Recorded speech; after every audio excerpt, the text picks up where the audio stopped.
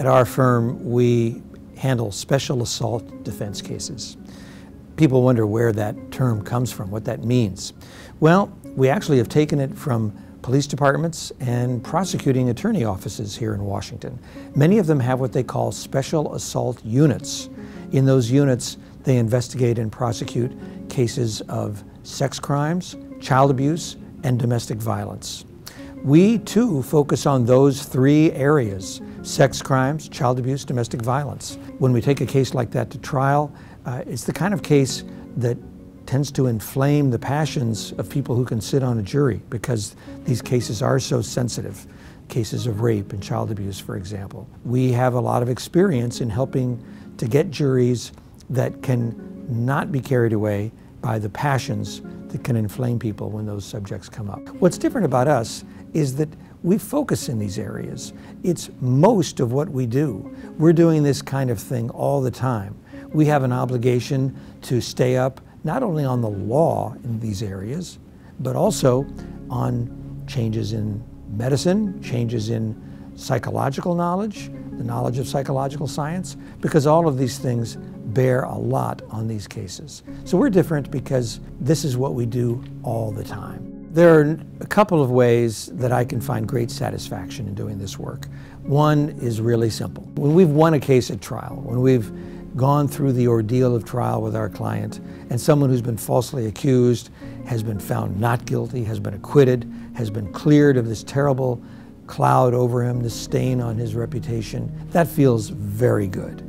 Our client has dangled over the abyss. We've pulled him back to safe ground. He feels good, we feel good. But there's another way where we feel good too, and it's not so obvious. Uh, a lot of the people we represent are not falsely accused.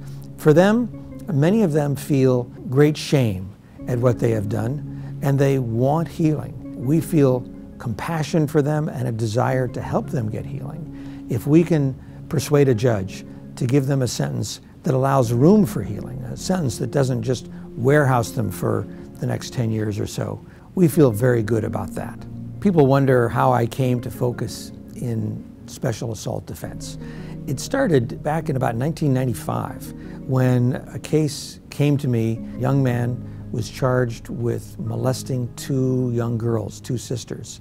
And uh, I represented that man, worked hard on that case for 11 months, eventually taking his case to trial. There were times when I was working on that case when I thought this was hopeless.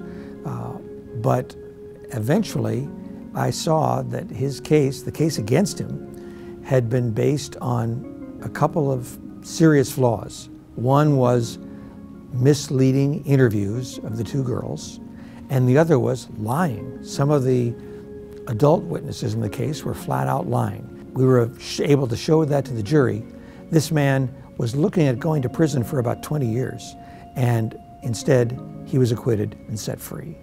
That was a very satisfying experience for me. I couldn't have felt much better unless I'd spared somebody the death penalty. We gave this man his life back.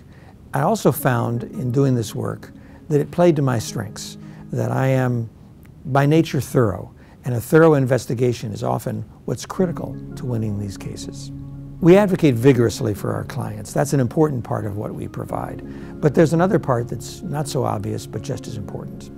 We provide our clients compassion. This is very important to me. It's very important to each of us, attorneys and staff at the Marshall Defense Firm. The people who come to us, whether guilty or innocent, are in terrible trouble.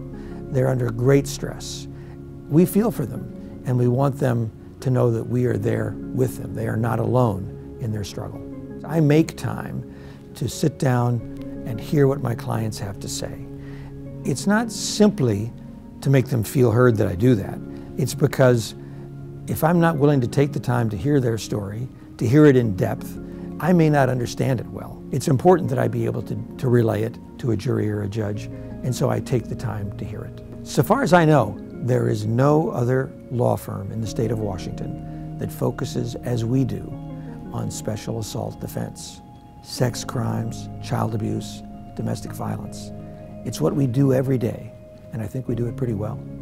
If you're interested in learning more about our work, how we can help you, please contact our office and make an appointment. I'd love to sit down and talk with you.